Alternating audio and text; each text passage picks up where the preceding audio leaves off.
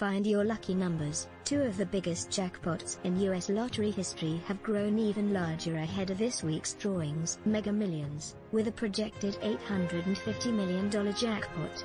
The third largest in lottery history and the game's second largest ever comes first on Tuesday night. A projected $730 million will be up for grabs the next night in the Powerball drawing, the fourth largest jackpot in the game's history and the sixth largest in US history. It has been nearly two years since a lottery jackpot has grown so large. No one has won either game's top prize since September. Still in shock, North Carolina COVID-19 nurse wins $1 million second chance lottery drawing both Mega Millions and Powerball will mark 35 drawings this week without a winner.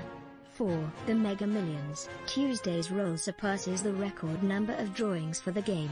Here's how the current Mega Millions and Powerball jackpots worth nearly a combined $1.6 billion, stack up to the top 10 in U.S. history. The jackpots promoted by both lotteries are the prize winnings of winners who take an annuity option, in which prizes are paid out over 30 years. Most winners opt for the cash option, now $628.2 million for Mega Millions and $546 million for Powerball.